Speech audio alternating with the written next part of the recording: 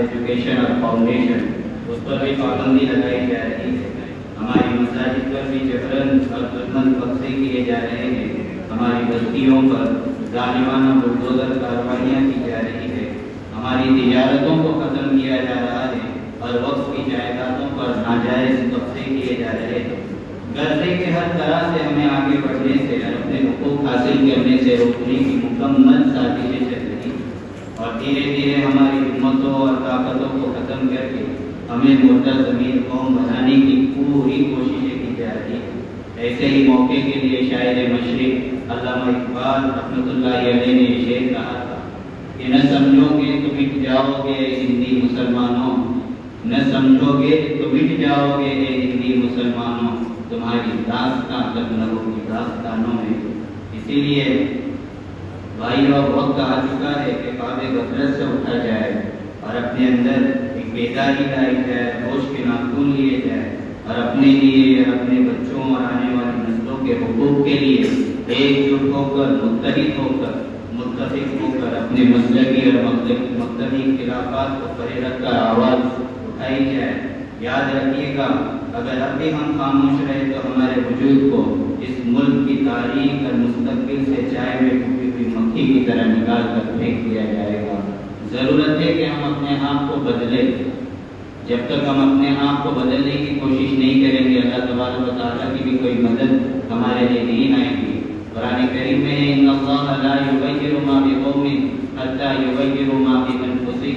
जिसका नक्शा किसी शायर ने, इसके तर्जमे का नक्शा खींचा है कि खुदा ने आज तक उस कौम की हालत नहीं बदली। खुदा ने आज तक उस की हालत नहीं बदली न हो किसको कया खुद अपनी हालत के बदलने का।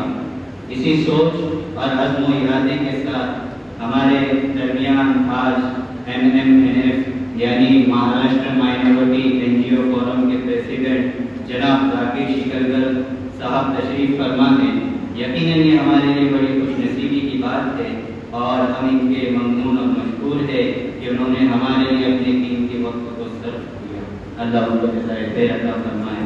अब मैं जनाब सलमान भाई से गुजारिश करूँगा कि वो Maharashtra minority N G O forum के प्रेसिडेंट जो आज के हमारे चीफ गेस्ट और खसूसी मेहमान हैं, जनाब डॉक्टर जाकिर शिकरकर साहब का इस्तेकबाल करें।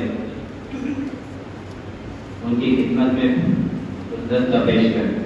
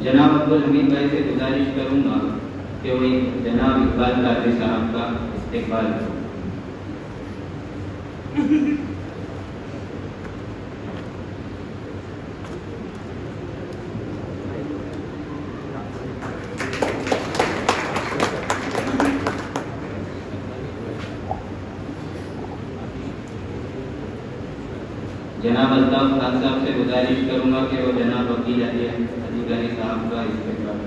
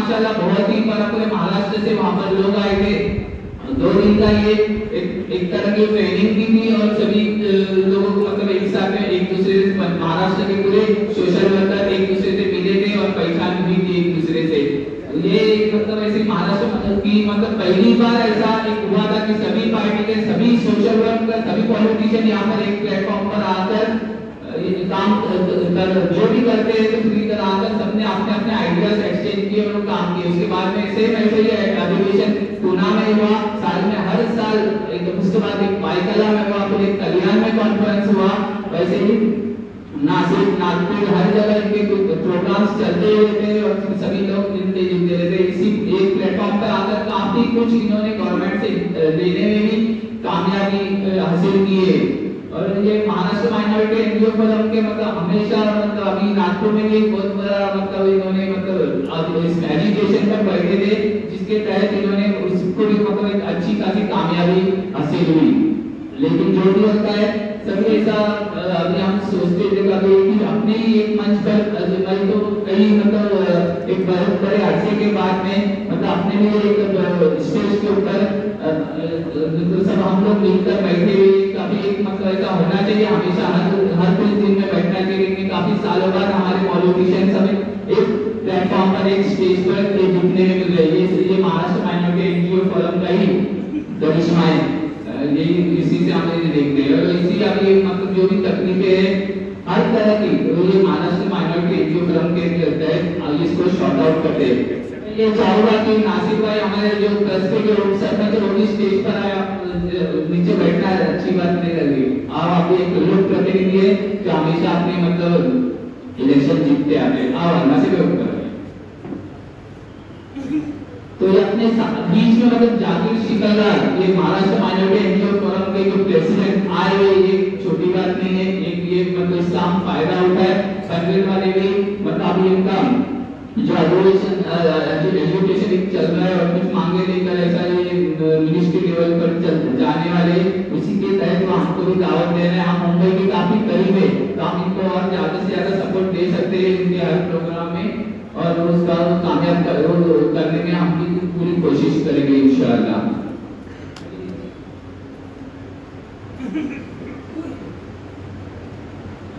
अब्दुल हमीद भाई से गुजारिश करता हूँ वो स्टेज पर आए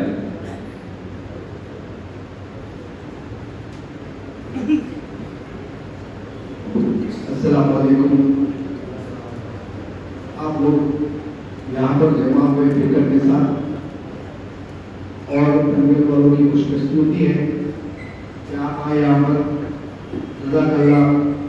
और आप काफ़ी साल से कौम की फ़िक्र लेकर पूरे महाराष्ट्र की हर शहर, हर गली में अपना वोट दे रहे हैं और फिक्रे रख रहे हैं कि मुसलमानों के जो बच्चे तालीम ले रहे हैं या कोई डिग्री पाना चाहता है, उनको एक सपोर्ट मिले और अल्पसंख्यक खाते से जो फंड्स हमारे लिए रखे गए हैं, उसको कैसे हासिल किया जा सके, इसकी जानकारी आप देते रहते हो।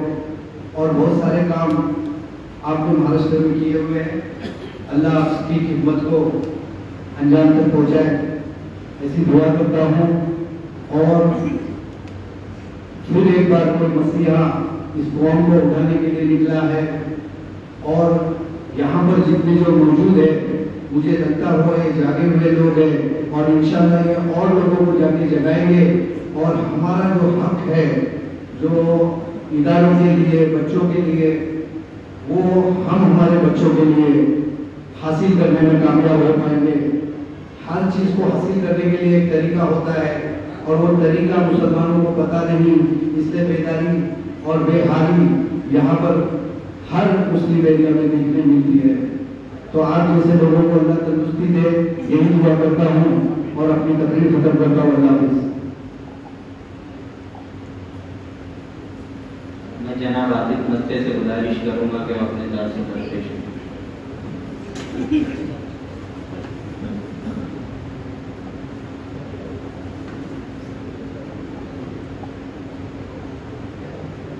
अस्सलाम वालेकुम। अ, आज के आए हुए मेहमान एक्चुअली मैं जो मौजूद था कि किस मौजूद पर बोलना है इसका पता यहाँ आने के बाद मुझे पता चला मैंने बोर्ड को भी मुकम्मल पढ़ा नहीं मेरी गलती थी लेकिन यहाँ आने के बाद मुझे अब पता चला कि ये एक कौम की फ़िक्र लेकर इस प्रोग्राम को किया जा रहा है बड़ी अच्छी बात है कि आ, जो खिदमत गुजार है ये दूर दराज से आए हैं और यहाँ पर हमको कुछ कहना चाहते हैं जैसा कि अभी भाई साहब ने कहा कि जो बदलना नहीं चाहते खुद तो उसको अल्लाह ताला भी नहीं बदलता। अगर बंदा खुद बदलना चाहे कि मुझे इस तरह से बदल कर अब ज़िंदगी गुजारना है तो अल्लाह ताला उसको बदल देता है। हम देखते हैं अल्लाह के सामने अगर हम गिड़गिड़ाए मांगे और सच्चाई से एक इरादा कर ले तो अल्लाह ताला उसको उसी तरह बदल देता है। आज जो मुसलमानों का सबसे बड़ा मसला है वो तालीम का कि हमारे तालीम इदारे बहुत कम हैं हम जदीद किस्म की तालीम हमारे बच्चों को नहीं दे पा रहे हैं। इसीलिए हमको हमारे बच्चों को कॉन्वेंट स्कूल में जाके तालीम देना पड़ रहा है। हालाँकि इसकी सबसे बड़ी जो आ, सबसे बड़ी वजूहत यही है कि हमारे पास बड़े बड़े इदारे नहीं है, हमारे पास ज़मीन नहीं है, हमारे पास एजुकेशन के हब्स नहीं है। हालाँकि देखा जाए तो मुसलमान के पास वक़- वक़्फ़ की कितनी बड़ी प्रॉपर्टी है। आज हिंदुस्तान में, हिंदुस्तान गवर्नमेंट के बाद एक तो सरकार के पास रेलवे के पास है, उसके बाद वक़्फ़ के पास लेकिन आज इतनी बड़ी ज़मीन रहने के बावजूद भी हम खुद मोहताज हम उन ज़मीनों का फ़ायदा नहीं उठा पाते। अगर अब आगे कुछ ऐसा भी सुनने में आ रहा है कि आगे आगे कुछ ऐसा कानून आ रहा है कि वो जमीनें भी जाने वाली है। वकफ से भी गवर्नमेंट छीनने वाली है। तो बताओ उसको हम क्या करें? अगर आज हम बेदार होंगे जागेंगे उस बारे में कुछ करेंगे तो शायद वो ज़मीन का कुछ हिस्सा प्रॉपर्टी का कुछ हिस्सा बच जाए। हमारे मुसलमानों की कितनी प्रॉपर्टी थी, लेकिन वो सब चले गई दरगाह को लीजिए, और कोई ट्रस्टों को लीजिए। और मुसलमानों के पास याकूब स्कूल के अलावा कोई प्रॉपर्टी नहीं है एजुकेशन के लिए। तो क्यों ना हम उस बारे में भी सोचे कि ये ऐसी ज़मीन है, हमको दे एजुकेशन के लिए दे। एक बार पोजेशन हम ले लेंगे उन जमीनों पर तो शायद हुकूमत और कानून कुछ नहीं कर सकेगा हमको ज़रूरी है, उस बारे में सोचना है। और ये एक बहुत बड़ा कदम है, जो साथ उठा रहे मैं जम्मू कश्मीर में था तो मुझे किसी ने कहा कि आज मिलेंगे हम तो बोले, वकफ माल के पास आओ। तो बोला, वकफ माल? बोले, ऐसी ऐसी जगह पे मैं वहाँ चला गया। तो मैंने जब देखा तो वकफ माल की ऑफ़िस थी, कि आपने वकफ माल कैसा बनाया? मैंने डिस्कस किया उनके साथ। उन्होंने बताया कि ये वकफ की ज़मीन थी हमने बिल्डर को दिए और इसमें कुछ हिस्सा उसको चला गया हिस्सा हमको आया। और जो हमको हिस्सा मिला है, वो पैसों से हम एजुकेशन पे खर्च करते हैं। और खासकर औरतों की तालीम, हमने देखो बोले, इसके पीछे औरतों की क्लासेस और बड़ी अच्छी बात है, इतनी खुशी की बात है। अरे छोटा सा बोला हॉस्पिटल बना है। महज इसलिए एक ज़मीन का टुकड़ा था, उसके ऊपर इन्होंने अच्छा इतना कंस्ट्रक्शन का काम किया। तो मुसलमानों ने हर जगह सोचना चाहिए ऐसी जगह जहाँ है। भाई किसी तरह एजुकेशन के लिए लोग उनको जिद करें उनको कहें, उनके ऊपर फोर्स लाए कि भाई कुछ प्रॉपर्टी का हिस्सा एजुकेशन के लिए आप दे दो। आप, आपके पास मत रखो। इस पर आगे फ्यूचर में हम कुछ करेंगे। तो वो हिस्सा, वो प्रॉपर्टी हमको काम है बस इतना अल्फाज है। मैं अपनी स्पीच खत्म करता हूँ। उनको ज़्यादा बोलना है और ना मेरा वक्त ज़्यादा हो जाए। शुक्रिया। जनाब सलमान मुकादम साहब से गुजारिश है कि वो अपने ख्याल कर दें।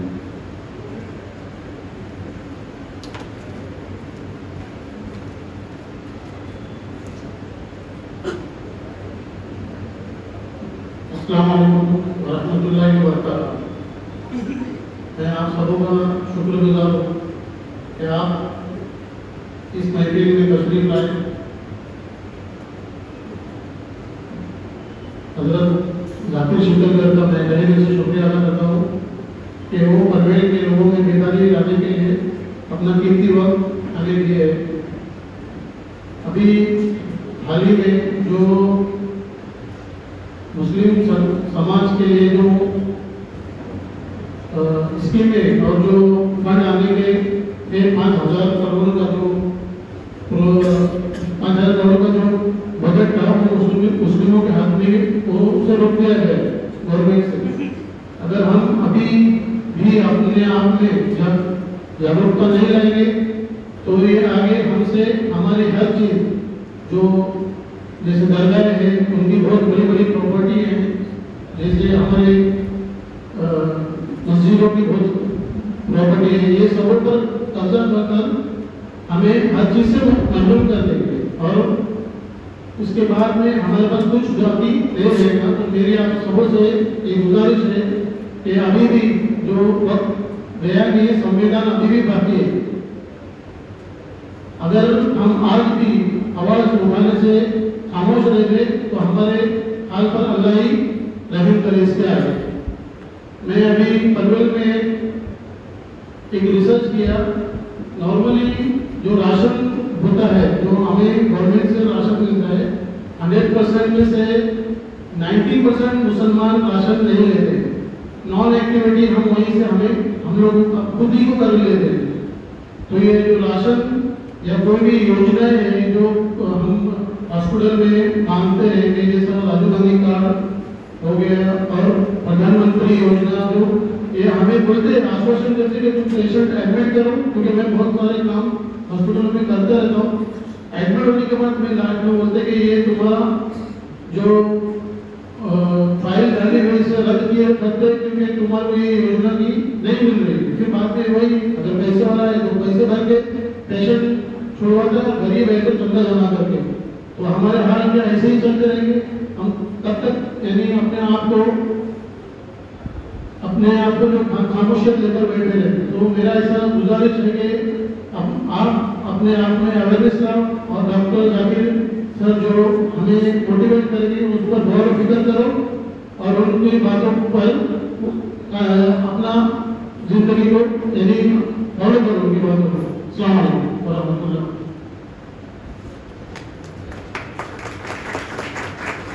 तो मैं जनाब, वकील, अधिकारी साहब से गुजारिश करूँगा।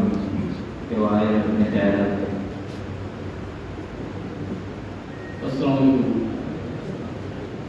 स्टेज पर बैठे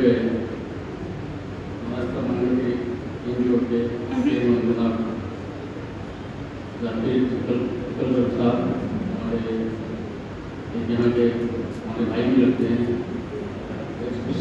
एक यहाँ जो अक्टूबर एक्सप्रेस के चेयरमैन है इकबाल काजी साहब चीफ मस्त है शेख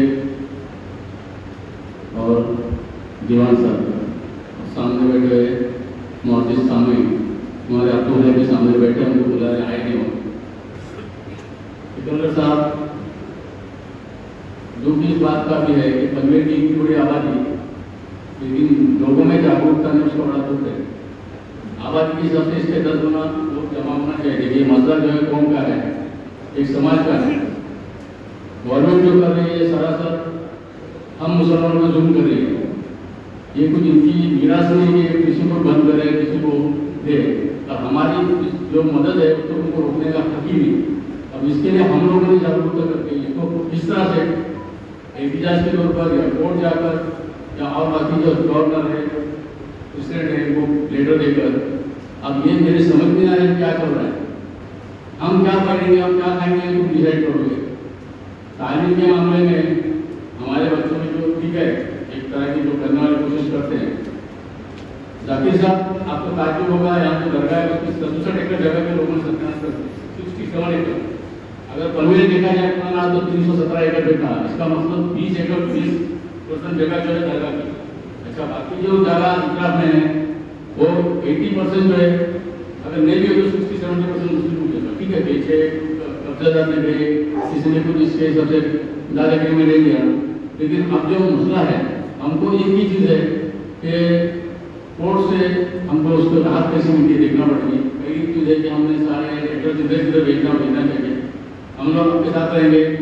सही की मुहिम इसको बोलते हैं? सिग्नेचर लेकर ठीक है, एक नहीं, दस हज़ार बीस हज़ार हर तरह सिग्नेचर लेके, वो साथ में उसके बाद में लेटर प्रेसिडेंट को बोलो प्राइम मिनिस्टर बोलो, जो भी अब इधर जो बैठे हैं हमको ताजुब है ऐसे लोग बैठे हैं, क्या कि बोलना गवारा नहीं, मैं समझता हूँ। क्या करें आप? तुम्हारी ज़िम्मेदारी है। अगर एक सरबरा मुल्क है, या एक स्टेट का सरबरा है तो उसकी नैतिक जवाबदारी बोलते हैं कि उसकी जान माल की मदद उसकी तारीफ़ की मदद जो है, उसकी ज़िम्मेदारी है। मैं अगर बनता हूँ तो मैं खाली अपने कौम को देखूँगा ऐसा नहीं जो सारे लोग हैं उनके ऊपर मुझे ध्यान देना है। तो इसके लिए सारे लोगों से मेरी गुजारिश है कि ये आज बात ठीक है एक मतलब और बड़ा, बड़े पैमाने पर हम चर्चा करते हैं और सारे गाँव से ज़्यादा से ज़्यादा लोग आए इसकी कोशिश करेंगे। इतना करके मैं अपने चैनल बात खत्म करता हूँ। अल्लाह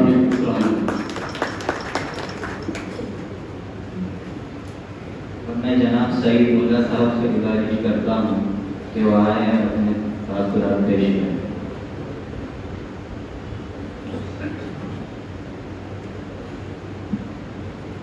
अस्सलाम खुशी की बात है में। बाहर से आदमी आके हमको बुला रहे हैं हम का वेलकम करते हैं और हमको उनको उनको उनसे कोई सुनना है हम अपनी बातें करने को कोई बता मतलब अच्छा सब लोग है जानते हैं और उनको क्या कहना है कैसा है? लेकिन एक चीज़ है कि आज हालात अच्छे नहीं है तो हर जाता हर बच्चा बच्चा एजुकेशन की बात बात करता है रोज़गार की बात करता है, काम धंधे की गुणवत है उसे मामले सब करना गुणवत है। हर चीज़ के ऊपर हम बात कर सकते हैं, पर अपने में इतफाक करना चाहिए। अभी एक चीज़ ऐसी है कि यहाँ पॉलिटिकल एजेंडा नहीं है। इसके लिए अपना अपना पॉलिटिकल देखना जब फॉर्म के ऊपर हैं ना एक रुपये फ़ीस की ज़रूरत है। सब में अहमियत किसके लिए एजुकेशन एजुकेशन है तो चिंता एजुकेशन है? ट्वेल्थ तो हमें को भी अभी नहीं मिलती बजे तक। इसका मतलब क्या है कि हमको पढ़ना पड़ा और उसके लिए जो जो फ़ायदे ऐसे थे उन्हें आपने ज़िम्मेदारी चाहिए उसके लिए हैं। अपने रसूबात है इसका फ़ायदा होगा कि अपने को हमको कैसे फ़ायदा होगा? ये ऐसे लोग हैं जो देने वाले हैं। और देने वालों के पास लोग जा नहीं सकते खुद वो होता है हमारे लोगों को काम तो है जो जानकार है जो रसूबात रखते हैं। उन्होंने कोशिश करना चाहिए। पहले एजुकेशन मतलब बराबर बताया कि दरगाह की जगह थी। देखो तादाद से पैसे, थोड़े से पैसे के लिए उन्होंने कराया गया करोड़ों की कराया हुआ तो मुसलमान भी है। दूसरा ऐसा कि एक ये चीज़ है मुसलमानों को किसी भी जगह पे जहाँ पर जगह के घर के लिए फ्लैट के लिए देते नहीं मुसलमानों के ऐसे क्या क्या दूसरी वस्तु मैंने देखा कि अपने से से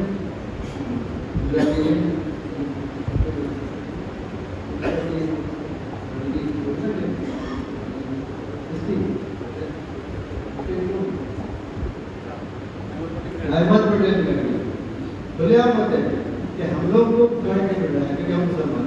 जबकि वो नंबर वन सोनिया गांधी के पेज है लेकिन कांग्रेस के जनरल सेक्रेटरी यानी ये हमारा मुसलमान का है हम लोग को जानना चाहिए हम सो के रह नहीं चाहिए और मेहनत करो मेहनत के सिवा कुछ नहीं हम क्या है रिक्शा हाथ गाड़ी ये दूसरी चीज़ें है दलाली करते यहाँ तक अभी ये तालीम बहुत ज़रूरी है। मैं अपनी तरफ़ से बोलता हूँ, मैं इकबाल से बात किया। कि हमको इसके लिए ज़्यादा से ज़्यादा कोशिश करना चाहिए। हम आए हैं, सुनने के लिए ज़्यादा बात नहीं करता हूँ शुक्रिया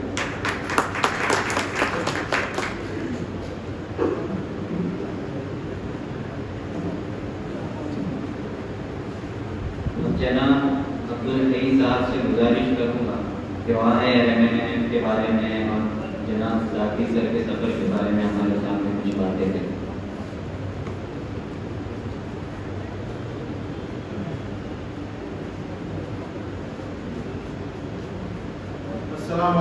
बुज़ुर्गों और दोस्तों। मेरा नाम शेख अब्दुल रही है और मैं एन एम एन एफ़ के साथ में 2018 से जुड़ा हुआ हूँ।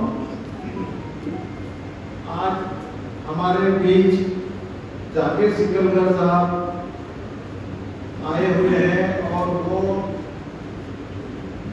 समाज के जो प्रॉब्लम्स है और हमारे हक क्या है, इसके ऊपर हमें डीप मालूम देंगे।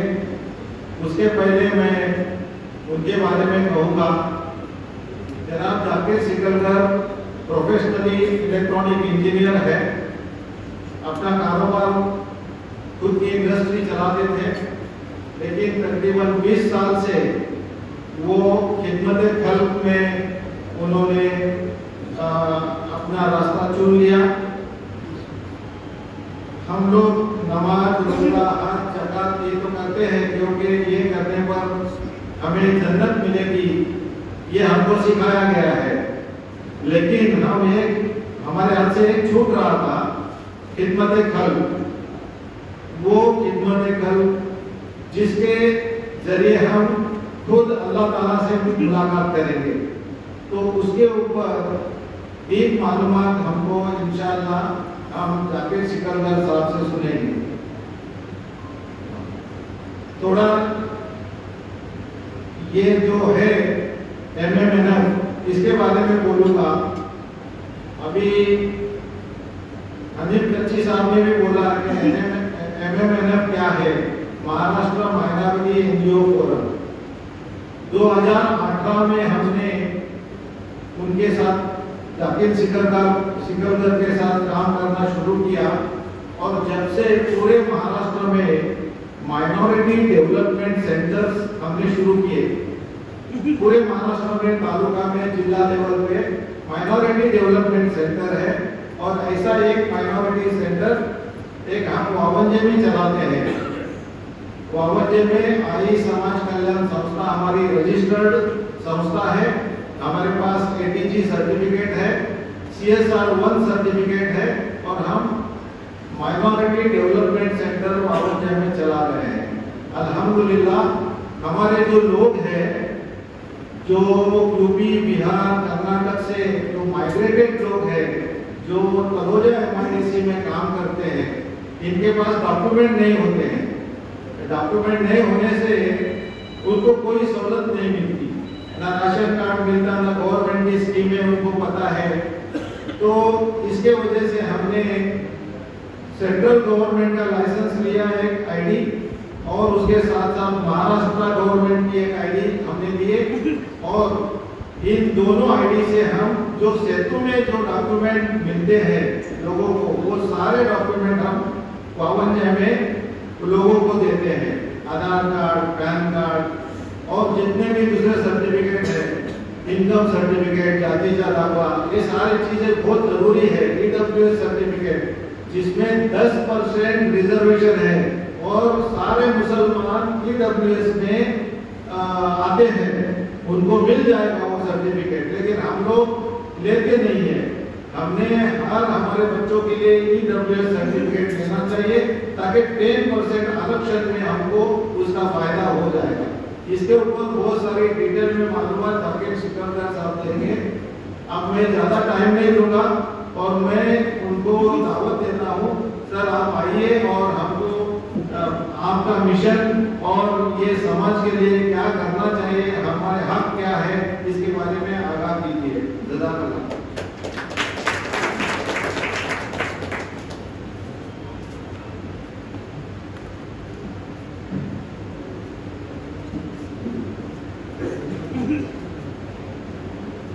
वालेकुम रहमतुल्लाहि व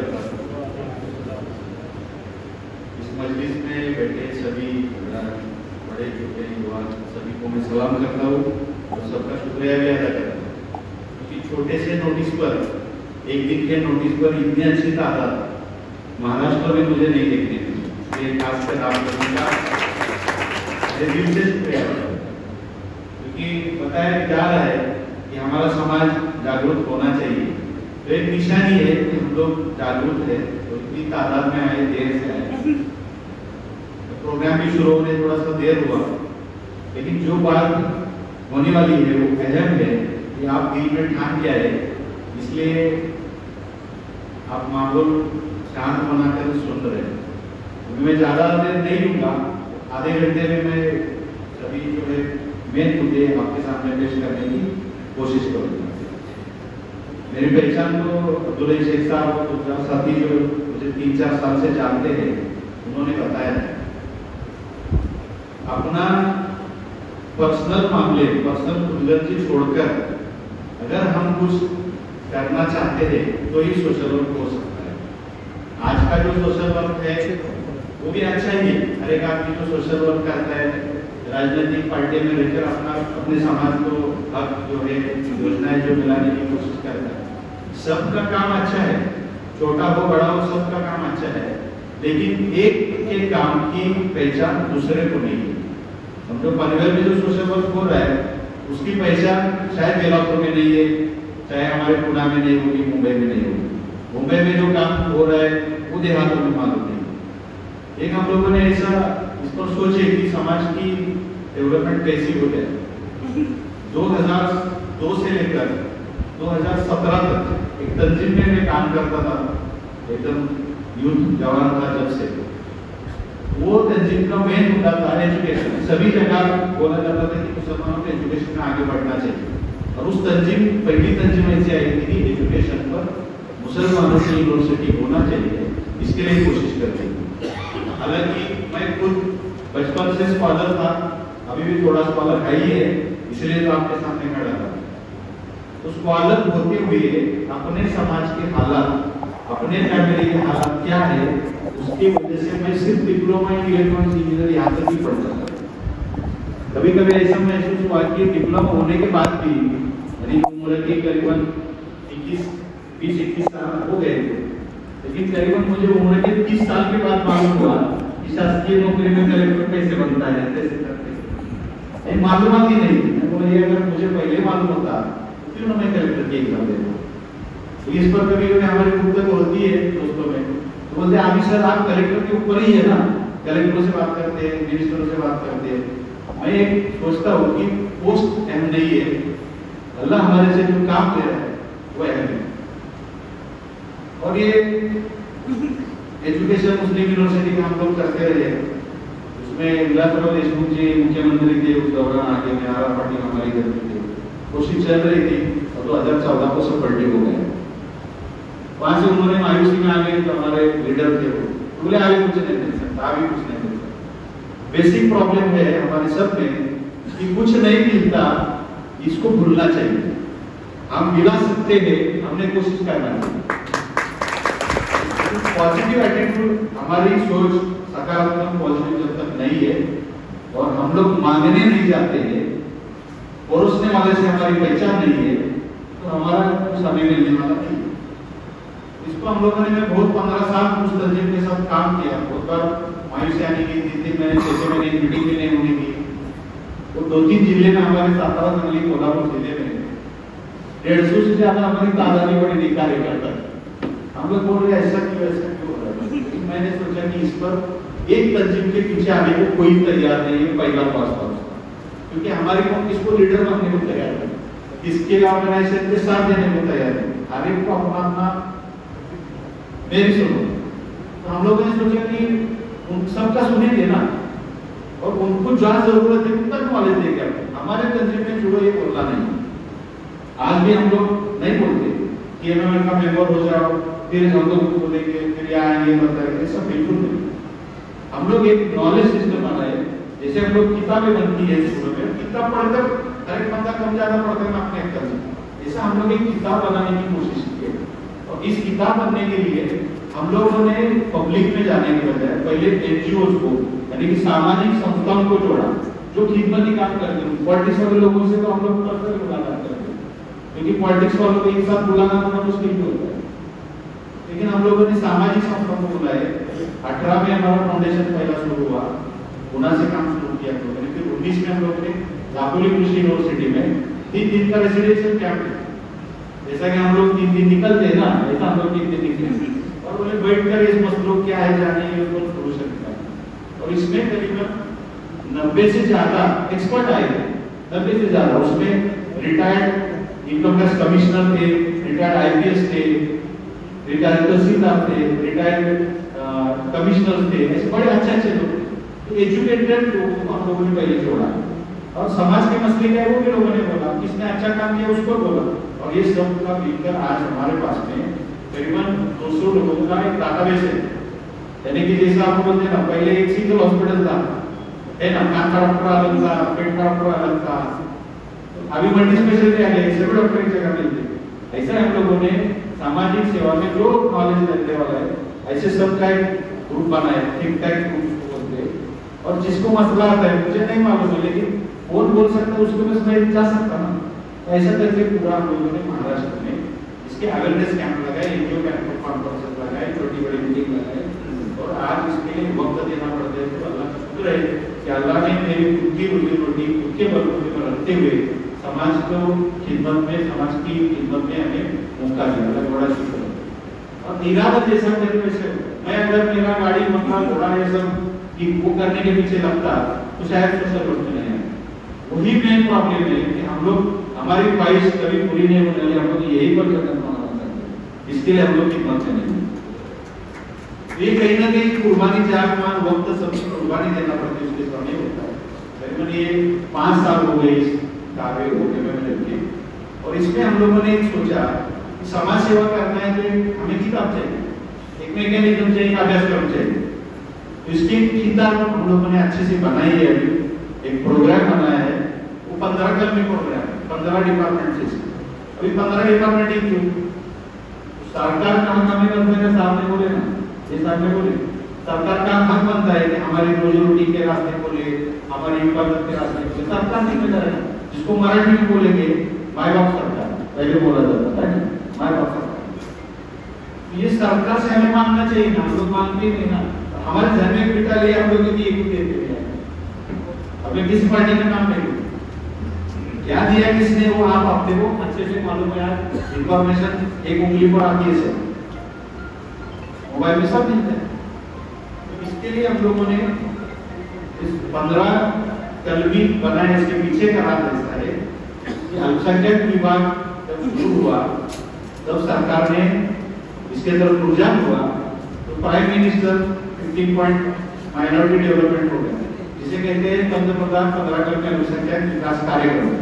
ये सेंट्रल केंद्र सरकार ने बनाया और उसमें पंद्रह डिविजन किस मुद्दे पर काम होना चाहिए एजुकेशन पर होना चाहिए हेल्थ पर होना चाहिए, हमारे सुरक्षा पर होना चाहिए। ऐसे मुद्दे उन्होंने दिए और उसको ये हर जिलाधिकारी को एक कट ऑफ़ कमेटी करने को बताया गया।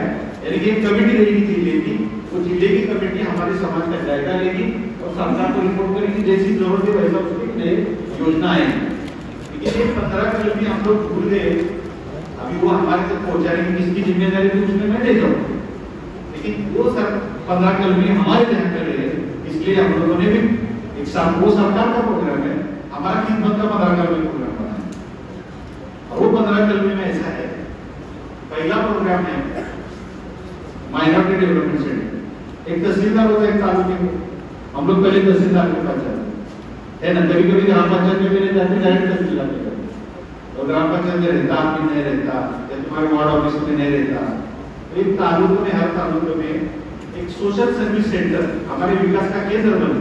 तो उसको नाम क्यों दिया? माइनॉरिटी सरकार हमें मुस्लिम बोलकर गिनती नहीं है। आपकी कहीं गलत में भी रहेगी तो करो। सरकार हमें अल्पसंख्यक अल्पसंख्यक प्रवर्ग उसमें रीजनल यानी कि वार्षिक और प्रांतीय ऐसा है। हम लोग एक इस प्रांत में महाराष्ट्र के कम बोलने वाले हैं, लेकिन हम अल्पसंख्यक मुसलमानों की कम है। ऐसे क्रिश्चियन है, जैन है, पारसी है, नवबोध है। इनके लिए अल्पसंख्यक कैटेगरी है सरकार हमें अल्पसंख्यक बोले और उसके लिए अल्पसंख्यक मंत्रालय यानी माइनॉरिटी मिनिस्ट्री बनी। तो हमारे बहुत सारे लोगों को हम लोग अल्पसंख्यक के पता नहीं। इसमें से भी किसी लोगों को आपने उनको सवाल पूछो सरकार हमें माइनॉरिटी को दिए पर नहीं क्या तो माइनॉरिटी मिनिस्ट्री को लेकर हम लोगों ने काम करना चाहिए और क्या होता है, मुस्लिम नाम लिए अभी और भी कुछ मज़हब से नाम संस्थाएँ शुरू किए मुस्लिम नाम आए कि फिर पेट में तुम्हारा बहुत हो गया। लेकिन हम लोग बोले, सरकार हमें माइनॉरिटी मिलती है तो हमारा ध्यान माइनॉरिटी पर ही जाए। और सभी कम्युनिटी का हम लोग काम करेंगे हमें अल्लाह ने भी ऐसा नहीं बताया कि सिर्फ़ मुसलमानों का नाम दो मुसलमानों की हिम्मत करो। सब कुछ बात करो, सबके साथ में भाईचारा बढ़ाओ, अपना क्या मतलब है, सिखाओ, अपने से चौथा ना बढ़ाओ सबके लिए। ये थोड़ा सा एक बड़ा जो मसला था वो आसान होगा और ये सेंटर पे लोग आएँगे। एक कंप्यूटर सेंटर या आवाज़ में विज़िट करो आप, या पे आरिफ भाई, वहाँ पर भी हम लोगों ने सेंटर शुरू किया है। लेकिन सेंटर तक जाने के लिए हम लोग यानी कि नौकर आती नहीं है समझो या वहाँ तक कदम उठाने नहीं आते? तो फिर नहीं जब लगेगा जब जाएँगे बीमारी आने के पहले उसका इलाज करो ना सीए या ना से आने के बाद डॉक्टर के पीछे लगेगी क्या? देना का नहीं देना बाद में तय करेंगे, लेकिन पहले से तैयारी तो करो। हमारे नाम में बहुत उर्दू, हिंदी और मराठी, हमारे मिक्स क्राइटेरिया है महाराष्ट्र में इसलिए हमारे आधार कार्ड में नाम, इसमें नाम, ऐसे गलत गलत है। इसके नुकसान हमें बहुत स्कीम जितना है सब मैच होता है। तो मैच नहीं होता तो तुम्हारा रिजेक्ट होता है। इसके लिए हम लोग सोशल सर्विस सेंटर में जाए, दूसरा उसके लिए कनेक्टिंग हम लोग क्या करें? कि हर मुस्लिम बंदा, चाहे नमाजी हो या बेनमाजी हो, मस्जिद से ताल्लुक रखता ही रखता तो क्यों ना हमें मस्जिद को कम्युनिटी डेवलपमेंट सेंटर बनाना यहाँ पर भी मैं मस्जिद डेवलप मस्जिद का नाम नहीं ले रहा, मुस्लिम का नाम नहीं ले कम्युनिटी हमारे मस्जिद के आधार में गैर भी रहते होंगे बिगर मुस्लिम भी रहते क्यों ना हम उनसे रब्ता रखना ही चाहिए ना? कोई कोई हम उसको बचा सकते वो हमको बचा सकते गरीबी वाले बचा सकते हैं, दूर वाला नहीं बचा सकता। तो मस्जिद का माहौल जो है, मैं ज़्यादा दिन की बात नहीं जानता, लेकिन फिर भी छोटी सी जो जानता हूँ। मस्जिद नबी बोल के कुछ हो गया है। मस्जिद नबी से हमारे हर मसले सॉल्व होने का एक रास्ता वहाँ पर एक सिस्टम बना था। लेकिन हम लोग छोड़ दिए। क्यों दिए? क्या दिए? वो नहीं, उसकी जाना नहीं अभी की ज़रूरत, अभी तो उसको बनाना चाहिए। मस्जिद नबी का हम लोग काम शुरू करेंगे, हमारे मस्जिद से इतना इरादा है और उसको कम्युनिटी डेवलपमेंट सेंटर बनाएँगे। तो कम्युनिटी डेवलपमेंट सेंटर हमें वहाँ के बाद गली मोहल्ले देना मेरा कुछ मसला है तो मैं वहाँ जाएगा हमारे चार जिम्मेदार तय होंगे कि आप कोई भी कोई भी जिम्मेदार बन सकता वो जिम्मेदार को मसला मालूम हुआ तो जिम्मेदार बोलेगा यहाँ जा फला कर बात हमारे मसले सिर्फ़ बहुत कम रहते। एक नगर पालिका का रहेगा, तहसीलदार का रहेगा, या फिर कुछ स्टेशन का रहेगा। हमारे इससे ज़्यादा मसले हमारे पास नहीं है। लेकिन हमारे तरक्की के लिए क्या मसला कैसे सॉल्व होना है? इसके लिए वहाँ तक जाओ हमारा सवाल रखो। वहाँ से वो लोग हमारे माइनॉरिटी सेंटर पर रब्ता करेंगे माइनॉरिटी सेंटर वालों को भी कुछ मालूम नहीं है। तो हम लोग एक हेड ऑफ़िस जिसका हमारा है। तो हम लोगों ने हेड ऑफ़िस फ़िज़िकल नहीं बनाया है। क्योंकि समाज में आज सोशल वर्क के लिए फंड नहीं देते लेकिन अल्लाह चला रहा है। अपनी नियत से फंड आगे भी चलता नहीं तो उस पर से वहाँ हम लोग एक वर्चुअल सेंटर अभी सब ऑनलाइन का जमाना है। दो तीन महीने कोरोना था तो सब ऑनलाइन में घर बैठे हुआ था। तो वो हम लोग वर्चुअल सेंटर पोर्टल एक सर्वर बनाए हैं, वहाँ से उसको हम लोग सब व्हाट्सएप से और पोर्टल से सर्विसेज़ देने का इरादा है। ये हो गया हमारा मसले से लेकर सॉल्यूशन हल करने का। अभी बात होगी एजुकेशन एजुकेशन में हम लोगों ने एक टारगेट रखना चाहिए कि हमारे बच्चों को कौन से, जैसा मराठी में बोलते हैं मराठी मीडियम से पढ़ा थोड़ा बीच में मैं मराठी मुलाचे पाय पाळण्यात दिसतात ऐसे एक मन है? मराठी में। छोटा बच्चा है ना उस उम्र में वो क्या हो सकता है? उस पर हमारी नज़र होना चाहिए और वैसा उसको गाइडेंस मिलना चाहिए। लेकिन हमारे उसमें वो सिस्टम ही नहीं। कि बच्चे को क्या बनाना है हम लोग दसवीं पास दसवीं पास होने तो फिर देखते हैं अभी क्या है। तो दसवीं पास होने तक उसके बहुत सारे हुनर गायब हुए तो एजुकेशन पर हमें बचपन से उसको करियर डेवलपमेंट उसका क्या लेवल है उसका क्या क्या टेस्ट है। अभी हम लोग बोले कि यार स्कूल के भी कुछ लोग रहेंगे यार एप्टीट्यूड टेस्ट या आईक्यू टेस्ट कितने लोगों को मालूम है? जो बच्चे का क्या होने वाला है उसका रुझान क्या है उसका एक मैपिंग करता है ब्रेन ये ब्रेन मैपिंग टेस्ट क्यों कितने लोगों को मालूम? पचास रुपए में भी बड़े तादाद में आएँगे तो पचास रुपए में टेस्ट होता है और अकेले भी जाना है तो हज़ार, दो हज़ार रुपए देंगे। क्यों नाम ऐसे बच्चे के टेस्ट कराए? लिखी भी यानी राइटिंग एग्ज़ाम लेने भी कर रहे हैं जबानी मुलाकात करने भी कर रहे हैं ऐसे बहुत सारे मसले बच्चों को डेवलप नहीं सकते हम लोग यहाँ अभी सरकार से अभी हम लोग डिमांड आज ही मैंने बनाया, बोल सकते हम लोग एक अपील कर रहे हैं। स्कॉलरशिप बंद हो गई, पहली से आठवीं भी मालूम रहेगा। फॉरेन एजुकेशन की भी बंद हो गई कॉमनवेल्थ एजुकेशन फाउंडेशन बंद हो गई अभी बच्चा है बीच वाला। नवीं से ग्रेजुएशन तक का बच्चा है। लेकिन इसके लिए भी हमारे पास जो भी इनकी स्कॉलरशिप बहुत कम है एजुकेशन लोन लेके पढ़ना है इंजीनियर मेरे बच्चों को बनाना है एमटेक पढ़ना है तो उसको डिप्लोमा को एजुकेशन लोन लगेगा बाद में डिग्री को लगेगा, फिर मास्टर को लगेगा। उसको छह सात का लोन ज़रूरत है उसके माँ बाप पास पैसे नहीं। तो एजुकेशन लोन कैसा मिले तो एटलीस्ट हम लोगों ने ये नए डिमांड में है हमारी सरकार हम लोग बहुत बार में लिख कलम की ताकत बड़ी होती है बहुत। एक पिक्चर में आपने देखा है कलम की ताकत क्या होती है। लिखना आना चाहिए हमें तो बोलना भी आना चाहिए। मुझे भी सात आठ साल पहले बात करने को नहीं मैं यहाँ आया ना तो पाँच मिनट में कैसे तुरंत निकल जाता लेकिन आज दो तीन घंटे बोलते में खड़ा रहे और बात कर सकता सकते नॉलेज एक बोलने की स्किल आना चाहिए। दूसरी बात है हमारे सुनने की स्किल चाहिए। ये तो हम लोग सामने है, इधर उधर देख रहे लेकिन हमारे दिमाग में दर्द बढ़ है। स्किल डेवलपमेंट इसमें भी ये स्किल्स का है। लेकिन हर बच्चे में स्किल डेवलप करने की बड़ी और बच्चों में और एक बड़ी बीमारी आ रही है, और बुज़ुर्गों में भी आ रही है, कि हम लोग तंदुरुस्त है। हमारा दिमाग तंदुरुस्त है मेंटल हेल्थ होता है इमीडिएट गुस्सा आता है, ना मार दिया है फटके दे हैं, ये नहीं होना चाहिए। तो एजुकेशन में बड़े मसले हैं, उसको भी हल करने का हम लोग, हमारा एक एजुकेशन डिपार्टमेंट है। उसमें हम लोगों ने एजुकेशन रिसर्च एंड डेवलपमेंट ऐसा मिशन की है, उसमें भी कई पीएचडी होल्डर्स हमारे साथ में, और हम लोग एक अच्छा सा एजुकेशन की तरतीब बिठा रहे अभी के जो मसले हैं, उसको हम लोग हल करने की कोशिश कर रहे हैं। एजुकेशन डिपार्टमेंट के बाद में हमारा एक आता है कॉम्पिटेटिव एग्ज़ाम का डिपार्टमेंट है आज देखो, बस नर्सरी में एडमिशन लेने से एग्ज़ाम यानी कि बड़ा गवर्नमेंट का जॉब हो या प्राइवेट जॉब हो हमारी हर जगह पर कंपटीशन तो कंपटीशन के लिए हमारे पास क्या बेसिक्स चाहिए? उसकी तैयारी कैसे करना चाहिए? उसके एग्ज़ाम कैसे क्रैक करना चाहिए? उसके ओरल्स कैसे क्रैक करना है इसका कहाँ बच्चों को ट्रेनिंग है हमारे? हम लोगों ने वो शनिचर में दी के दिन लोगों को पार्ट टाइम जैसा मकतब में हम लोग बुलाते, ऐसा बच्चों का स्टूडेंट्स का मकतब शुरू होना चाहिए।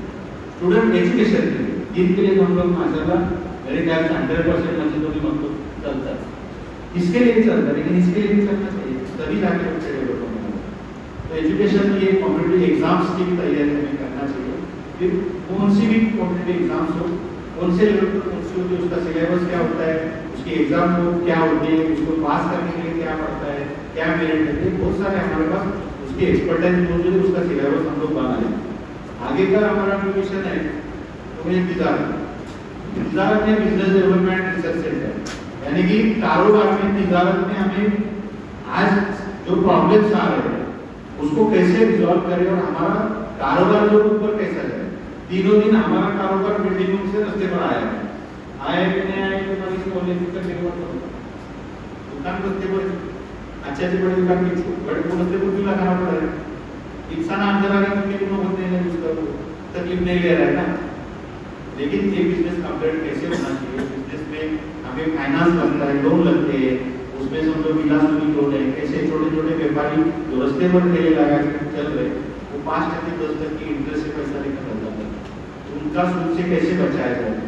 ऐसे बहुत सारे सोल्यूशन है।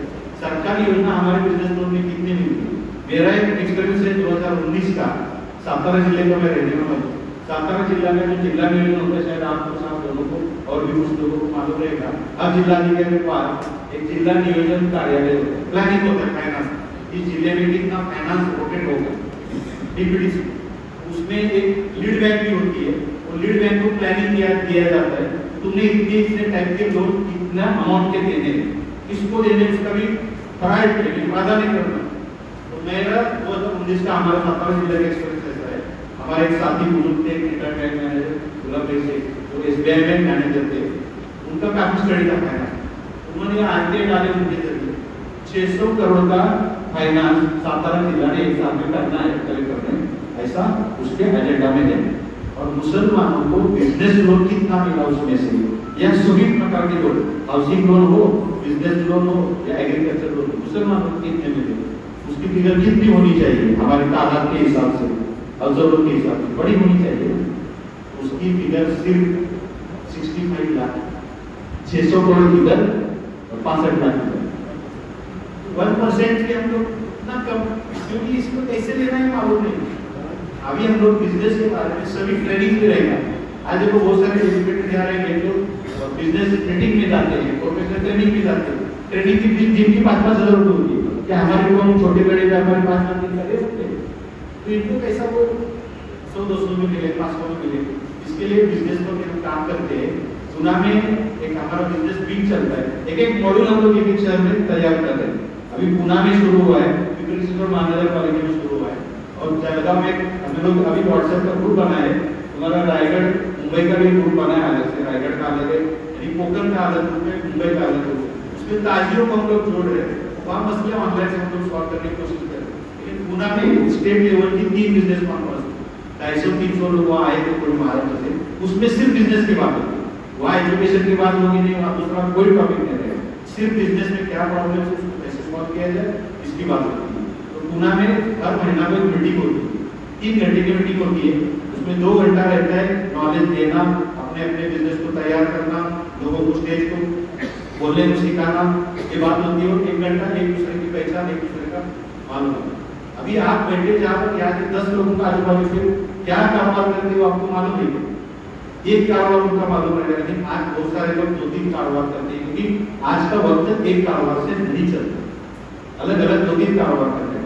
लेकिन एक दूसरे को मालूम नहीं। मालूम ना होने से हमारा बिज़नेस दूसरे को जाता है। अभी बहुत जगह का मसला ऐसा है कि ग्रोसरी किराना माल जो है, किराना माल हम लोग गरीब से गरीब रहेगा तो महीने का तीन हज़ार रुपये का काम लेकिन किराना हम लोग देते कहाँ कितनी दुकानें हैं हमारे? हमारा धंधा कहाँ जा रहा है? तो बड़े दुकान हमारा पैसा हमारे में रोटेट होना चाहिए। हम लोग इक्वेटा कब आएँगे? उस पर भी बिज़नेस रिसर्च में बात होती है। कोऑपरेटिव सोसाइटीज खड़े करने की बात है। अगर हम लोग जैसा इस्तेमाल के ऊपर इकट्ठा सब लोग करते हैं तो काम तो निपटा के ना। ऐसे ही समाज को मसलों को इकट्ठा सॉल्व हो सकता है ना। तो ये सब बिज़नेस पर भी हम लोग बात करते हैं। बिज़नेस के लिए जो भी मसले हैं, उसको रिजॉल्व करने की कोशिश करते हैं। आगे का मिशन है हमारा वुमन एम्पावरमेंट यानी कि महिला सशक्तिकरण आज महिला सशक्तिकरण पर यानी कि वुमन की खवातीन के बारे में इस्लाम में क्या आप अच्छी तरह से जानते हैं। उनके कैसे वो आप अच्छी तरह से जानते हैं। लेकिन क्या उनके हुनर के हिसाब से उन्होंने घर बैठे या दस महिला मिलकर कोई रोज़गार किया शरिया जैसे क्या लेकिन लोग करने के लिए लाइक करें उसकी ज़रूरत है कभी कभी मैंने पाँच चार साल पहले हमारे कार्ड में महिलाओं की मीटिंग किया था। उसमें उन्होंने एक औरत ने ऐसा कहा कि सुबह सुबह फजर की नमाज़ से आने के बाद नाश्ता करके चाय चपाती खा के जाते और बाद में मेरा ग्यारह बजे का सर दुखने लगा। तो मियाँ भाई रात की ईशा के नमाज़ में आते जब तक मेरे ज़रूरत पूरी लाने के लिए मेरे पास एक रुपया नहीं कितना बड़ा प्रॉब्लम है? लेकिन उनको अगर छोटा मोटा कारोबार उन्होंने से किया तो बीस पचास रुपए तो उनके पास रहेंगे तो वुमन एम्पावरमेंट भी बहुत बड़ी ताकत है, उसको हम लोग गवा रहे लेकिन उसके हम लोग, उसका पता ही नहीं हमें ताकत से क्या हो सकता है। अभी वुमन ने क्या क्या किया आपको हम मुंबई में वुमन एक ट्रेन भी चला। प्राइम मिनिस्टर भी वुमन बन गए कर सकते हैं हवा में उड़ सकते हैं पायलट विमान चला। बहुत कुछ है उस पर भी डिटेल में बात अपन सेशन और भी रहेंगे तीन दिन पर प्रोग्राम लेंगे तो सभी प्रोग्राम पर डिटेल डिस्कस होगा आगे स्किल डेवलपमेंट हमारी पढ़ाई कम हुई? लेकिन हमारे हुनर है ना। हमारा दसवीं आपस में करें।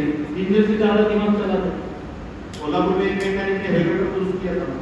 है ना सूर्य दिमाग में नाम डीवाई पाटिल के जो बेटे के उधर एक गेस्ट आया था।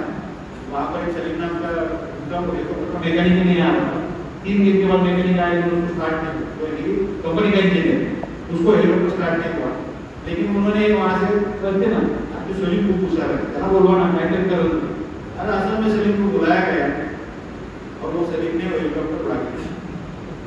इतना हमारे कम्युनिटी में अल्लाह ने जेल हमारे जेल बहुत अच्छा।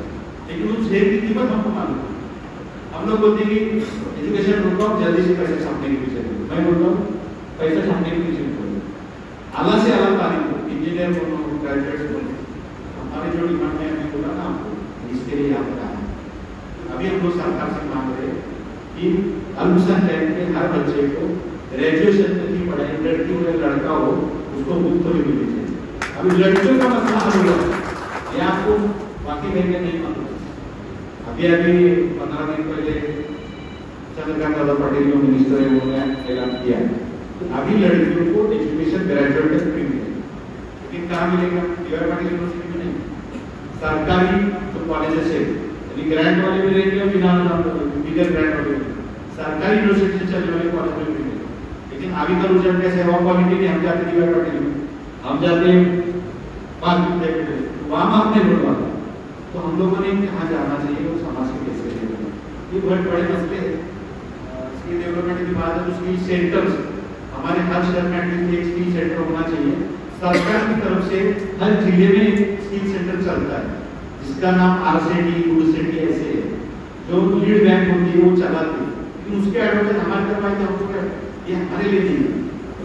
लेकिन एक सरकार का सेंटर, हर ज़िले में मुफ़्त में एजुकेशन देने वाला है तो वहाँ से आप सर्टिफिकेट लेके एक महीने का, तीन महीने का कोर्स है तो आपको बिज़नेस लोन देने में आसान है। वो हम लोग कब लेंगे। स्किल का भी अगर देखा जाए आप आप कभी पुनः जाते रहेंगे हमेशा। पुनः का एक्सप्रेस हमेशा खत्म होता है ना उसकी साइड में, सीधे साइड में सिम्बोसिस की यूनिवर्सिटी लेकिन वो सिम्बोसिस की यूनिवर्सिटी में कोई भी कोर्स की भी पचास हज़ार के अंदर पचास हज़ार के आगे दो लाख, चार लाख पाँच लाख ऐसे। तो क्या हमारे बच्चे स्किल यूनिवर्सिटी में पढ़ेंगे? हमारे लिए स्किल यूनिवर्सिटी होना चाहिए। उसके लिए हम लोग डिमांड सरकार के पास आगे की बात है हेल्थकेयर एंड पैरामेडिकल आज किसी के घर में दवा नहीं है, ऐसा कोई है जो मेरे घर में बिल्कुल टैबलेट नहीं, यानी कि एलोपैथी भी कोई टैबलेट नहीं, और यूनानी में भागवत ऐसा कोई घर है? हर एक के घर में दवाई का एक डब्बा है। कुछ हुआ की दवाई है। और ये दवाई एलोपैथी खा के हमारा क्या हो गया दूसरा हम लोग समझो हमारी अपनी इनके ऊपर के नहीं जाएँगे। जल्दी हमारा कैरेक्टर होगा क्योंकि अनाज जो खा रहे हैं लोग केमिकल खा रहे हैं। ये नहीं है। और ये एलोपैथी की दवाई तो हमको बर्बाद कर लेकिन क्या हमारे हदीसों में कुरान में तिब्बत नबी और यूनानी का बताया गया है, उस पर हम अलग अमल कब करें? सादा सिंपल एक तरमीना नाम की चीज़ होती है, यानी कि जव सातु सब ड्राई फ्रूट्स का चूने पाउडर होती है कितने लोग खाते हैं? बहुत सस्ता होता है। तीन सौ रुपए का डब्बा लाए ना तो एक महीना चलता है, एक आदमी। कितना सस्ता है। एक चम्मच गर्म पानी में डाले, मैं खुद देता हूँ। दोपहर के चार बजे तक खाना नहीं मिला तो भी चलता कितना उसको एनर्जी। लेकिन वो हम नहीं खाते, बीमारी दूर जाती। वही इतना भागदौड़ रात दिन करता बीमारी से बहुत दूर ये जब शुरू नहीं किया था, तब बिना तो बार बार महीना तो मैंने भी बीमार हुआ ये हम क्यों खाए। दवाई से क्यों बचे? तो ऐसे हेल्थ सेंटर्स भी हमें खड़े करने हैं। और मस्जिद के इमाम रहेंगे या वहाँ जानने वाले रहेंगे, उनको हम लोग ट्रेनिंग देंगे।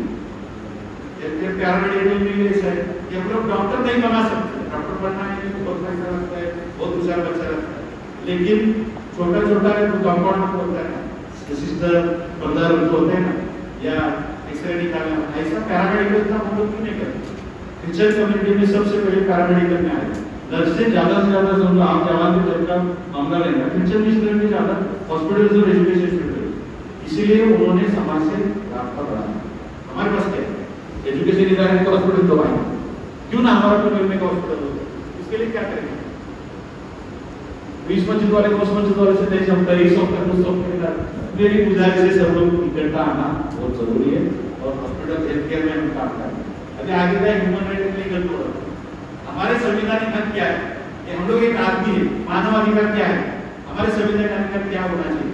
आर्टिकल संविधान आगे तो संविधान बचाओ संविधान बचाओ शुरू है ना? लेकिन भाई, संविधान में मेरे लिए क्या है मुस्लिम संविधान कायदा है सीखना चाहिए आज मैं यहाँ आया हूँ, आपसे बात कर रहा हूँ। मेरे नॉलेज से कुछ तो फ़ायदा होगा इसलिए आए ना? हर एक आदमी को मुझे क्या फ़ायदा होने तो मैं?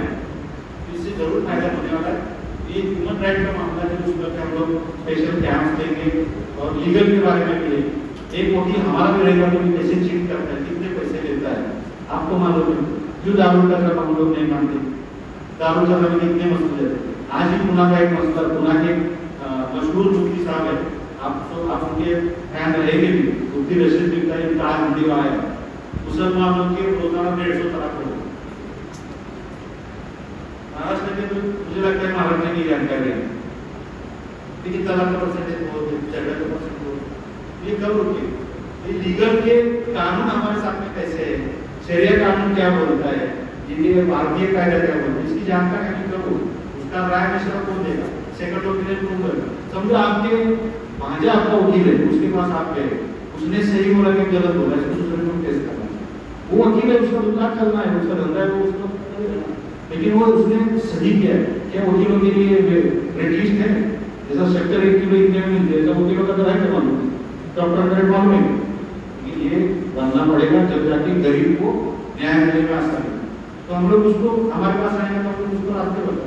अभी इतने सारे कुछ हो रहा है, मैं ज़्यादा नहीं बोलूँगा। हमारे हादसे कितने हो रहे गली से लेके दिल्ली तक।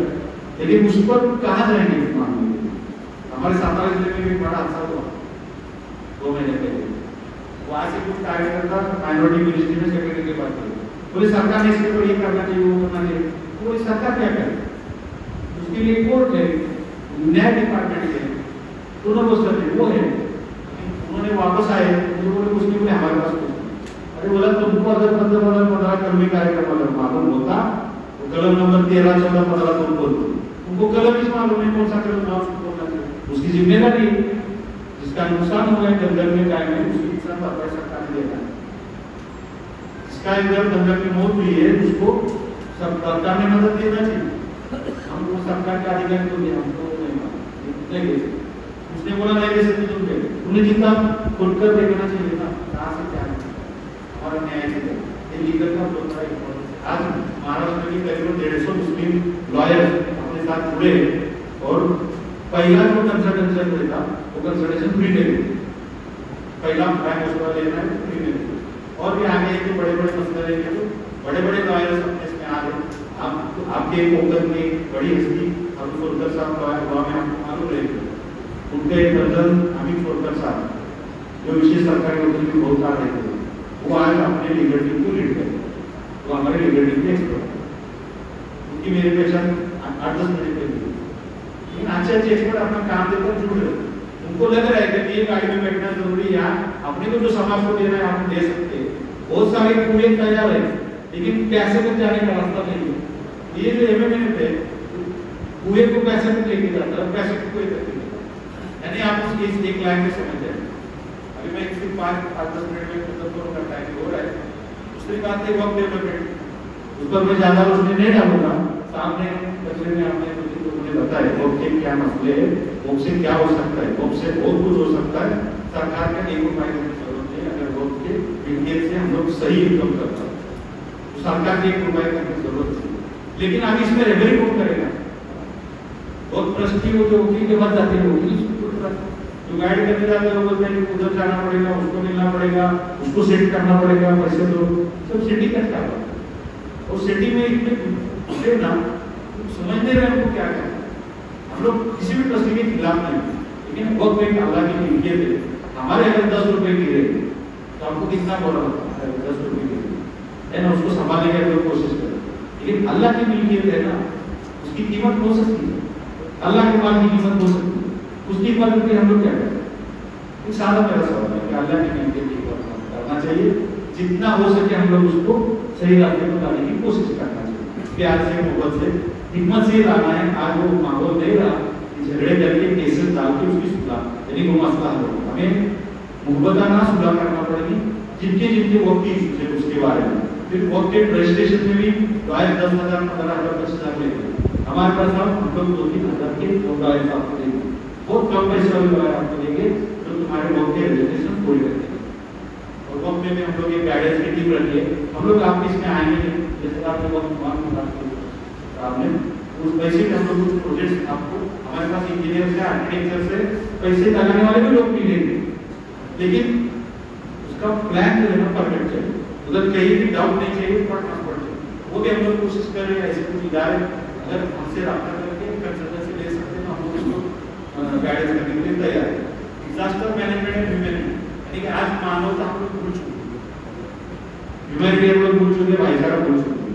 अगर भाईचारा फिर से पकड़ोगे तो ही नफरत का माहौल कम होगा दूसरा रास्ता नहीं। लेकिन नौबत जब आती है, तुम्हारे यहाँ एक नौबत आई थी ना? बहुत बड़ा एक मेला था। तुम तुमने लोगों को बुलाया गया, कुछ लोग गड़बड़ के मरे।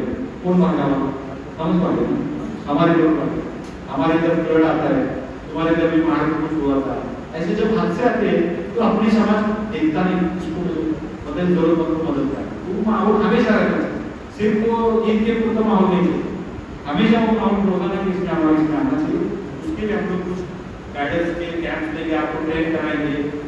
जो सामाजिक कार्य करते हैं उसको थोड़ा सा सिलेबस हम लोग पढ़ा सकते हैं। फाइनेंशियल डेवलपमेंट एक बहुत बड़ा ये मुद्दा है फाइनेंशियल का। आज हमारा सालाना इनकम क्या है, मेरे घर का सालाना ज़रूरत क्या है, उतना मुझे कमाना चाहिए तो मेरी घर की गाड़ी बिजलेगी नहीं। पर हमारे ना के बराबर लोगों के पास इसका प्लानिंग है और वो प्लानिंग ना होने की वजह से हम लोग सूद के दलदल में फंसते, किसी का पैसा लिए उधार वक्त पर नहीं देते, बैंक का भी नहीं देते, दोस्त का भी नहीं देते, मेहमान का भी नहीं देते। इसलिए पैसे के मामलों में मुसलमान का माफ़ करना थोड़ा देरी कर तो कैसे सुधारना है? उसके लिए हमें पैसा कैसे उठता है? उसको कैसे संभालना है? उसका ट्रेनिंग लेना पड़ेगा। उसका यानी कि मालूम एक सिस्टम बनाना पड़ेगा, छोटे सिस्टम लिखने की आदत रहेगी ना, आया कितना, गया कितना, ये इतना लेकिन इतना कमाना चाहिए। अगर मेरे कमाई कम है, ज़रूरत ज़्यादा है तो बिल्कुल मैं दो नंबर ही करता हूँ। करना होता है। होता नहीं है हो रहा कितना प्रॉफिट कमाना, वो लिखा है तो लोन के बेच हैं हमें इस काम में सिखाया है लेकिन हम लोग कहा है। तो ये फाइनेंशियल यानी कि पैसे जो भी कर्जदार है कर्जदार को उसके फांसी से गरीब कर्जे की फांसी है। लेकिन खास करके जो डर ना, उसके उसको छुड़ाना। ये भी बड़ा सा का काम है। लेकिन हमारे होता है कैसा कर्ज कर दो भाई उसको हो देखा है आपने गलत किया है उसको ढूंढना चाहिए। उसको छुड़ाने का हुक्म हमें है और हम लोग उसको क्या ढूंढना चाहिए? क्या नहीं इसको हमें जो भी है ऐसे कुछ जिसके ऊपर नौबत आई है फाइनेंशियल तो फाइनेंशियल प्लानिंग हमारे पास है सरकार का भी फाइनेंस मिनिस्ट्री है ना? नियोजन मिनिस्ट्री हमारा घर का है हमारे मोहल्ले का है तो दूसरी बात और इनमें हो गया है फाइनेंशियल डेवलपमेंट आज सरकार में कुछ नहीं देती है सब बोल रहे हैं। मैं आपको कुछ लोगों को बोलना चाहूँगा हम लोग ये पाँच साल से मैंने शुरू किए हैं। कुछ काम हम लोगों ने ऐसा किए हैं, बताने के आपको खास करके एक दो काम मैं बताऊँ। एजुकेशन लोन जो इस दफ़ा मौलाना से उसकी इनकम लिमिट ढाई लाख रुपए की। लाख के आगे बहुत सारे लोग हैं। लाख के नीचे कम है। ढाई के नीचे जिनका इनकम है, उनके पास मार्केट के लिए उतना घर नहीं है। तो लोन से उनको लोग इतना मिलती नहीं। वो लिमिट हम लोगों ने आठ लाख रुपए कर देकर वो पहला हमारा काम था पीडीसी से तीस दिसंबर 2020 को तब के मंत्री नवाब मलिक साहब उनके साथ में हमारी मीटिंग हुई थी। हम लोगों ने मसला मुझे इसको हल कर हुई इसी इसमें क्या डाला लेने वाले को जिसको सीखना है उसको सीखने दो ना। इनकम लिमिट बढ़ाई उससे कई बच्चों को एजुकेशन लोन मिल गया। 2020 से आज तक का आंकड़ा करीब पाँच करोड़ के ऊपर है। हमारा कारण सेंटर जो है और महाराष्ट्र के काम। तो पाँच करोड़ अगर हमें फाइनेंस मिला तो हमारे बच्चे आगे बढ़ेगा ये सब बात है। विधान की जो बात है, उसमें हम लोग कारोबार के लिए भी कि जो बेरोजगार है उनको भी रेबल करते हैं। फाइनेंशियल कटिंग हमें करना चाहिए। इस्लाम में सूद लेना देना हराम है। कितने लोग इस पर काम करते हैं? हमारे अकाउंट जिसका बिना सूदी बैंक है, उसने नहीं किया। बिना सूदी सोसाइटी उसने नहीं किया। हमारे पास बिना सूदी सोसाइटी नहीं लेकिन अपनी अच्छे महाराष्ट्र के लोगों का एक अल्लाह ने यहाँ ज़रिया खड़ा किया है। बिना सूदी के दो बैंक खरीद लिया मुंबई में। एक व्यक्ति नज़र है उनके सात ब्रांचेस है। और एक जलसा मल्टीजेट कोऑपरेटिव सोसाइटी है, जिसके पूरे देश में पैंतीस ब्रांचेस है। उसका टर्नओवर साढ़े चार सौ करोड़ है। छोटे छोटे लोन पहले देते पच्चीस हज़ार का लोन बिला सूद यानी थोड़ा प्रोसेस चार्ज लेते तीन चार टका प्रोसेस चार्ज होती है अठारह तक तक के ऑफ़िस ऐसा करके उनको सूद से बचा सकते और अपना सूद का पैसा भी उनके रखो ना वो आरबीआई के रूल से कोऑपरेटिव के रूल से सेफ़ है इधर उधर रखने से कोऑपरेटिव दूसरे जो बैंक है तब होता उसमें रखने से उधर रखो ना तो ऐसे ही फाइनेंशियल डेवलपमेंट की बात हो ट्रैवल गाइडेंस पर कहूँगा मैं यही कि हमारे ज़्यादातर लोग हैदराबाद के टूर पर जाते हैं ऐसा पिकनिक टूर करके आए बहुत कम है गोवा घूमने गया दिल्ली घूमने गया कश्मीर घूमने गया ऐसे लोग थोड़े कम है, लेकिन ऐसे घूमने जाने वालों को भी उसका सफ़र कैसे सेफ़ हो जाए। वो जहाँ रहेंगे वहाँ वो सेफ़ और उसको नमाज़ के लिए कैसे इंतज़ाम मिले। ऐसे स्टेशन हमें ढूंढना पड़ेगा। जब जाके वहाँ गया तो रात की चेक छुट्टी नहीं लेते तो कब किससे गले से माहौल खराब होगा और मेरा प्रॉब्लम होगा। ये हमें करना पड़ेगा। तो मादर के साथ कहते हैं, आज उम्र के बहुत सारी एजेंसी है। आज उम्र के टूर कराने वाले उन्हें फंसते ना लोग। वहाँ तक जाते एयरपोर्ट तक। टिकट है, वहाँ वहाँ सब देने वाले पास वहाँ जाने के बाद बोलते कुछ तो गड़बड़ हुई। तुम्हारा नहीं आया कौन कौन फंसा है? हमारे लोग है ना। इसके ऊपर भी हम लोगों को चौकन्ना रहकर कौन सी एजेंसी अच्छी है, कौन नहीं है, उसका भी वेरिफिकेशन करके अच्छी गाइड करें आखिरी इम्पोर्टेंट मिशन है, हमारा पंद्रहवा। वही मार्की। मार्की यानी कि minority research and training centre यानी कि अल्पसंख्यक विकास का संशोधन और प्रशिक्षण ये हमें करना चाहिए इसमें समाज के जो मसले उसको जानकर लेना है और सरकार से कैसे हल करना है, उसको हल करने के लिए ये डिपार्टमेंट हम लोगों ने अलग से करना अभी बहुत सारे मिशन पर मैं डाटा इकट्ठा कर रहा हूँ। एक एक मिशन कामयाब करके वो हैंड ओवर कर रहा हूँ नीचे साथियों को ऐसा अपना काम बढ़ रहा है। इसमें जो मार्की मिशन है सरकार से क्या लाया? इसका एक जवाब मैं आपको दूँगा। इसका डाटा भी हमारे पास मौजूद है। आप भी सरकार की वेबसाइट पर जाएँगे तो मौजूद है। दो हज़ार अठारह का अल्पसंख्यक मंत्रालय का बजट क्या था? अठारह जब हम लोगों ने काम शुरू किया तो सब उस टाइम का बजट साढ़े चार सौ करोड़ था। पूरे माइनॉरिटी मिनिस्ट्री था उसमें से आपने काम करना है। आज का बजट इस साल का चौबीस पच्चीस का साढ़े आठ सौ करोड़ इसके लिए पूरे महाराष्ट्र में तीन साल से हम लोग जद्दोजहद कर रहे हैं। और दो साल तो एक एक महीना, दो दो महीने घर छोड़कर मैं एक ड्राइवर एक आधा साथी इस शहर का उस शहर साथ दिया तो हम लोग वहाँ पर हर जिलाधिकारी के पास जाके निवेदन दिए। तुम्हारे ड्राइवर ज़िले को दो बार दिए। हर साल हम लोग ऐसा भी नहीं ऐसा भी। नहीं अब्दुल शेख साहब है कोपली टीम है और भी कुछ लोग वहाँ पर आए। कुछ लिखने से वहाँ कागज़ गया है, कुछ बन गया सभी पार्टी का प्रेशर रहेगा पार्टी अपनी वोट की राजनीति करे हर पार्टी। कोई पार्टी ने अपनी वोट की राजनीति करे लेकिन समाज का ओवरऑल डेवलपमेंट करना भी हमारी उनकी ज़िम्मेदारी और आप सब हम लोग मांगने जाएँगे उनके पास तो ये कुछ आगे करते रहेंगे अभी मांगने के क्या मांगना है? आज हमारे पास स्टडी रूम है हमारे पास ई लर्निंग सेंटर है स्किल सेंटर है क्या कब कई बच्चों के घर ऐसे हैं कि उनको स्टडी करने के लिए सुकून की जगह नहीं तो ऐसे बहुत काम है। सरकार से मांग के लेना है। हम लोगों ने गए साल में ना, सरकार को बोला कि पन्नास हज़ार करोड़ का बजट हमारा पाहिजे तो आगे हमारे साथ ही नागपुर के थे धरना लोग उसमें कुछ साहब बड़े बड़े ऑडिटर्स लोग थे वो बोले जाके भाई, गलत बोल रहे हैं पागल बोले लोग लोग बोले तो ना। बोले क्या पैसे पड़ते पागल काम करते पागल बन से दीवाना बन से मांगना चाहिए। तो बोले, इसका जस्टिफिकेशन है? ये कैसा सही है? तो बोले मेरी मांग सही है। तो बोला अगर महाराष्ट्र सरकार का बजट करीबन पौने छह लाख करोड़ का है साल का बजट पाँच अस्सी, पाँच पॉइंट अस्सी लाख करोड़ का महाराष्ट्र हम चार में कितने हैं मुस्लिम बोलेंगे तो भी बारह परसेंट है और बोले तो सोलह परसेंट है ये सोलह परसेंट की हिस्सेदारी हमारी नहीं बनती हम पिछड़े गुलाबी सरकार ने रिपोर्ट दिया तो हिस्सेदारी हमारी नहीं बनती है मांगने क्या देगा वो देगा इसलिए बड़ा बजट ना उसका असर हुआ ना डेढ़ सौ करोड़ से मुझे बढ़ा मांगने से। और इस साल की मैं कोशिश करता हूँ। सात सौ चौबीस करोड़ को मैंने क्लास दिया था। और हमारी मांग तो थी। उन्होंने अभी रिवाइजेशन में सप्लीमेंट्री बजट था, आपको मालूम है। एक पुरानी बजट आ अब नगर पालिका के पुरानी बजट है। क्या और क्या कर सकते तो साढ़े छह सौ करोड़ का बजट आया, पुरानी। अभी कितने में चौदह सौ करोड़ है? उसमें से खर्च के उन्होंने पाँच सौ करोड़ करने वाले लेकिन आया ना वो। हमें दिखा ना इतना बढ़ सकता है। ये गारंटी हो गई ना। अगले साल को इसी आएँगे। अगले साल का इस साल का रनिंग बजट साढ़े आठ सौ करोड़ आया। और सबसे बड़ी कामयाबी मैं बोलूँगा, मौलाना आज़ाद करने के बाद सिर्फ़ तीस करोड़ का कैपिटल था। बिज़नेस लोन के लिए और एजुकेशन फंड के लिए। तीस करोड़ का बजट था हमारी लगातार तीन साल की डिमांड है उस कैपिटल को पाँच सौ करोड़ तक फ़ायदा छोड़। समझ? अपने को दुआ मिलेगी बस। ये आखिर की तैयारी है। तो इतना सारा फ़ायदा हो रहा है तो हम लोगों ने मतलब कोई भी पार्टी जो सिटिंग करता है, उससे बात करना तो हमारा कभी कभी क्या होता वो अपोजिट वाला है वो कहते हैं हमें तो हमें ये लेकिन समाज को लेके जाओ ना, समाज की ताकत वहाँ तक पहुंचाओ। तो होता है, मैं कोई भी पार्टी का लीड नहीं करता। यानी देवेंद्र का अध्यक्ष हमारे पॉलिसी में नॉन पार्टी लेकिन काम करेंगे हम ऑल पार्टी अभी पॉलिटिक्स के जो लोग हैं, उनको भी कुछ मालूम नहीं था। अभी डेढ़ महीना पहले समाज अधिकार से एक साथ में। अल्पसंख्यक की योजना के बारे में हमसे ट्रेनिंग हुई यानी कि मंत्रालय से हमें भेजा गया और ट्रेनिंग के लिए, क्योंकि पॉलिटिकल पार्टी को सरकार ट्रेनिंग नहीं दे सकती। सरकारी अफसर ने डेप्यूटी सेक्रेटरी ने मुझे बुलाया मैं इनको ट्रेनिंग दूँ। अभी और भी पार्टियाँ हमारे पीछे लगी है।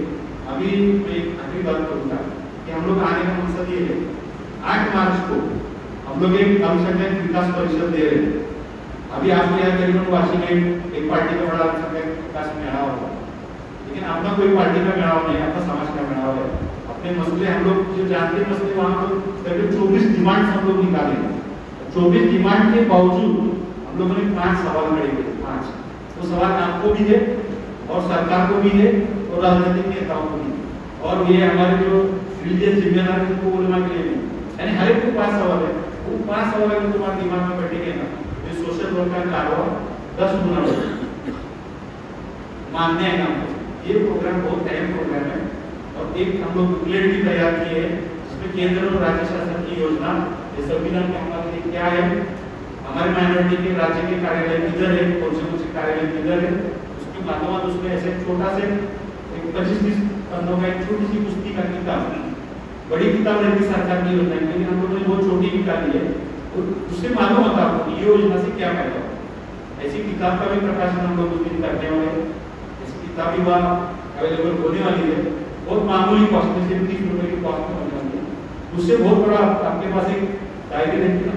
नहीं ध्यान में रखो किताब खोलकर देख सकते कितना एक अच्छा सा प्रोग्राम है वहाँ होने जा रहा है। तो वहाँ पर ऑल पॉलिटिकल पार्टी को हम लोगों ने वायरल दी किसने बोला, मैं यहाँ उनका नाम हम लोग अभी लेने वाले हैं, उनको वेलकम करने वाले आओ यहाँ बैठो, हमारा सुनो। आप क्या करेंगे समाज को वो रिकॉर्ड होगा सर रिकॉर्ड हो तो बाद में वो क्या करता वो भी रिकॉर्ड होगा। है ना? जस्ट लाइक उसकी एक एग्ज़ाम्पल है। वो आधा करेगा तो उसको निभाना पड़ेगा। जुमले नहीं चलेंगे। जुमला क्या बोल सकते तो ऐसा हम लोग एक अनोखा प्रोग्राम आठ काम करते हैं। दोपहर ढाई बजे टाइम है, लेकिन शाम पौने तीन बजे शाम शुरू होगा। तीन बजे हार्डली एक गेस्ट नहीं आया जल्दी तो तीन बजे उसको शाम को शुरू होना ही होना है और छह बजे उसको खत्म करना है। लेकिन ये क्या पूरे महाराष्ट्र लेवल का है? रमज़ान सामने ऊपर है। तो महाराष्ट्र से अपना छत्तीस ज़िले में रीच है।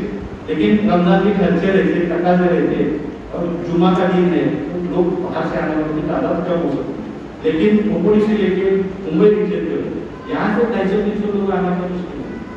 तो ये बात जो है इसमें आपको मैं दावत देता हूँ। इस प्रोग्राम में बड़ी तादाद से आप शिरकत करें कोई फ़ीस नहीं है।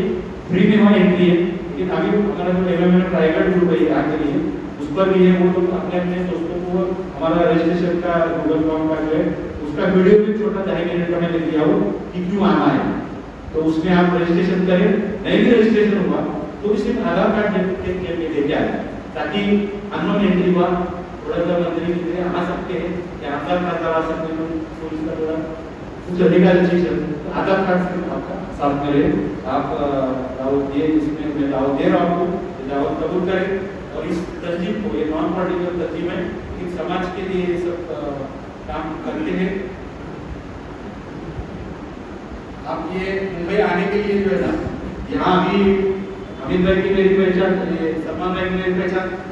ये राज्य दौरे में भी जब हम लोग कार्यक्रम को न्योता दे रहे थे, और बात का देने के बाद में यहाँ आया, और मैं रुका ही देखा मैं भाई हमारे यहाँ हमारे पहचान के अब्दुल साहब है तो पगल में रुको बोले कुछ लोगों का रास्ता होता है देखिए मैं भी नए शहर में नए लोगों को मिलने के लिए थोड़ा कोशिश करता हूँ सलमान भाई को उसको पहचान होगी और हमने रास्ता किया कि भाई, ये एक्टिविटी ग्राउंड पर भी है, हमें पॉलिटिक्स में क्या उसके है नहीं।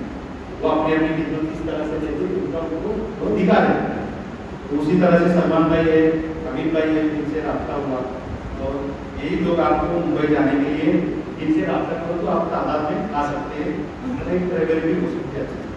आपने बड़ी देर से मुझे सुना मेरा हर स्पीच का एक आखिर होता है एक सेंटेंस होता है।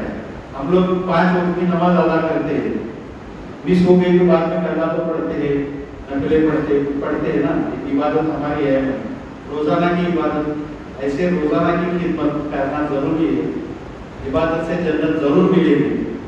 लेकिन खुदा से मिलना है तो खिदमत ही करनी पड़ेगी जाकर